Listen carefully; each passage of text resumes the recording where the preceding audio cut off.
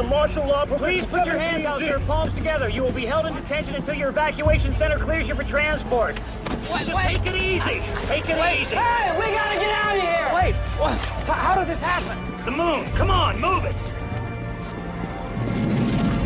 That's impossible. What happened? What, you've been living under a rock? Yes, I've been living under a rock. Now, now tell me. The demolitions for the lunar colony screwed up the orbit, okay? The moon's breaking up, all right? Come on. Ah! As the moon breaks apart in the sci fi film The Time Machine, and martial law is promptly declared, as if to discipline the collective mind on how to act in case of a deep impact or Planet X event should it occur. Others look to our less fictional skies for the passing of the 10th planet. A shocking report recently posted over at Project Camelot came from a Norwegian politician who allegedly has knowledge of ark like structures being built all over the world in preparation for such a cosmic disaster. Here are a few excerpts from his letter to them. The Norwegian government is building more and more underground bases and bunkers. When asked, they simply say it is for the protection of the people of Norway. When I inquire when they are due to be finished, they reply before 2011. The Planet X I learned about is from all what I have seen up until now. The government knows this and are keeping it from the public. They have been tracking this object in the sky for a very long time now and were given the first warnings from the USA. I know that 18 bases exist in Norway. I don't know what many of the dangers are because I'm not a scientist, but what I know is that before 2012, the different governments are going to leave for their bases that they have built for the last 40 or 50 years. Thundarr, the Barbarian. Year 1994. From out of space comes a runaway planet, hurtling between the Earth and the Moon, unleashing cosmic destruction. The ancient Sumerian culture, who apparently were visited by beings from Nibiru on a prior passage, had advanced knowledge of our solar system.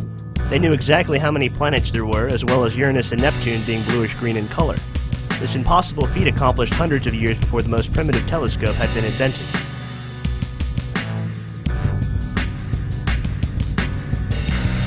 Both in The Time Machine and Thundarr, the return of archaic man is a primary theme, all technology being lost to the rivers of time because of an Atlantean like catastrophe.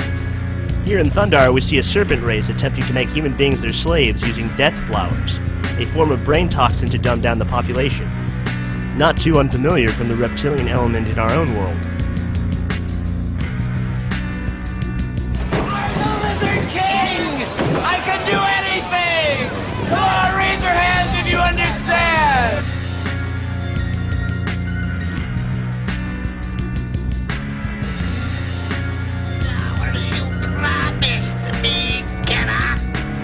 Harvest is nearly complete. By dawn, the death flowers will be on their way. Kiddox, keep their word. They better. The death flowers are my weapon to defeat the humans beyond the swamp. We see similar death flowers in Philip K. Dick's The Scanner Darkly.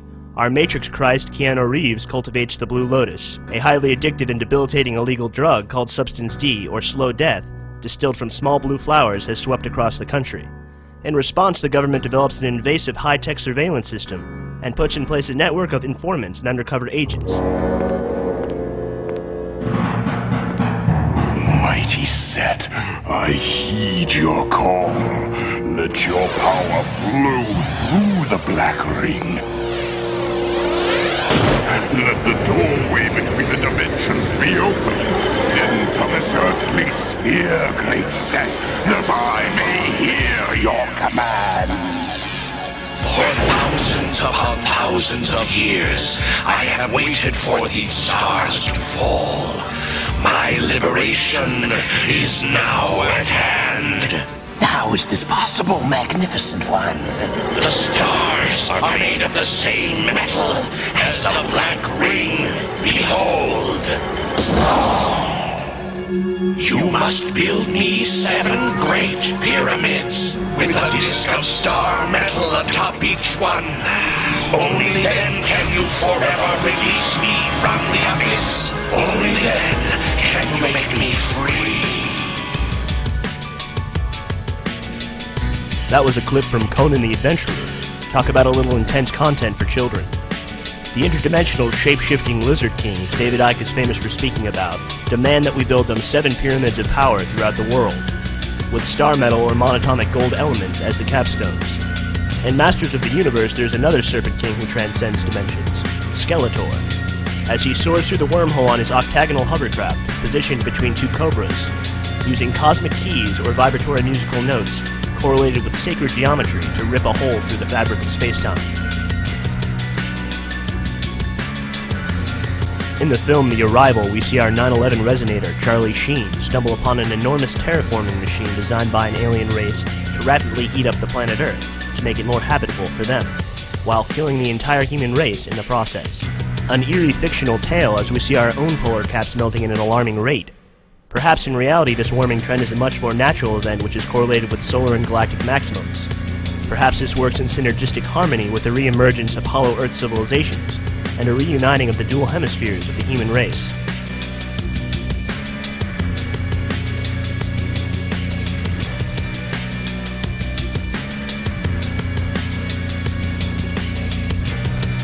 Mr. Sheen, you better get out of there right away. Nobody wants his secret getting out. In fact, they're going to trigger an alarm followed by beaming a picture of your face on multiple hexagonal monitors in just a second. Another creepy aspect of this film is the possible alien technology to make themselves appear as if they were completely human. A premise used in many sci-fi films such as They Live. Perhaps a little less fictional component of an interspecies commingling policy in the government archives.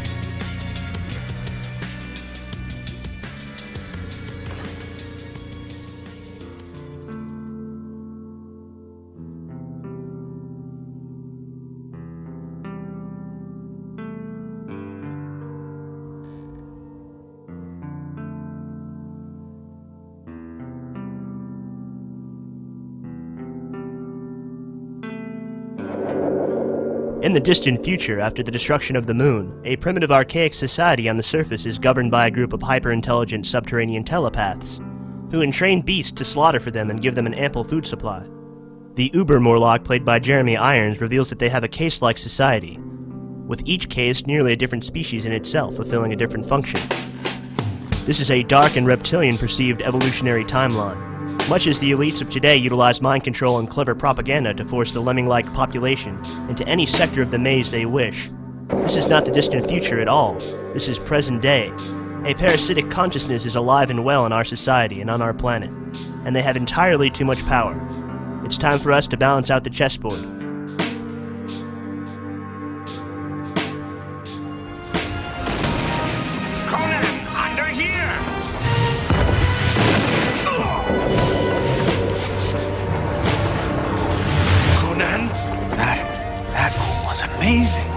Conan, wait! Look, grandfather. The fiery tears are made of metal. Devouring consciousness. Star metal. Digesting power. Monster of energy. It's a monster. Kiss the snake on the tongue. Kiss the serpent. Only a few stars have fallen. Set summons me. I must go to the pyramid at once. As Skeletor transforms into a monatomic golden god in front of a rather menacing and alien Masonic Stargate, and demands He-Man and the rest of Eternia bow at his feet, we must utilize our intuition to discover what portions of the collective consciousness are responsible for this imagery. The cosmic keys are in our hands, to play a symphony of holographic beauty, to craft and design this world and this life in any orientation and direction we choose. What chords will you play? What music will you make?